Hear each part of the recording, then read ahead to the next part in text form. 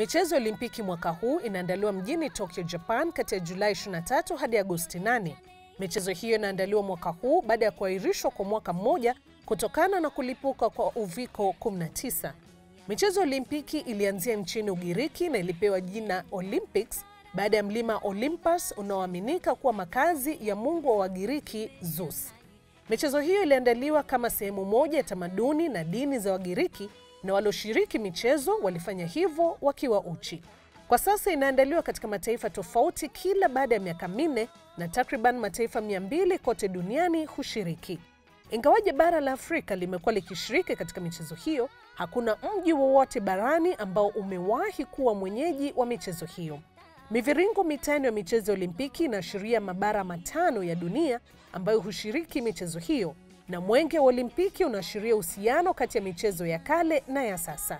Afrika Kusini ilikuwa nchi ya kwanza kutoka bara Afrika kushiriki michezo hiyo mwaka 1904.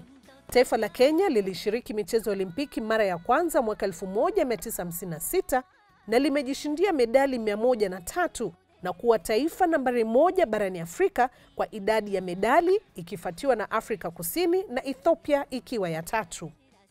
Kuna takriban michezo 33 katika mashindano ya mwaka huu mjini Tokyo, tofauti na michezo ya kwanza mjini Athens, Ugiriki mwaka 1896 ambapo mataifa kumi na mawili yalishindana katika michezo 43.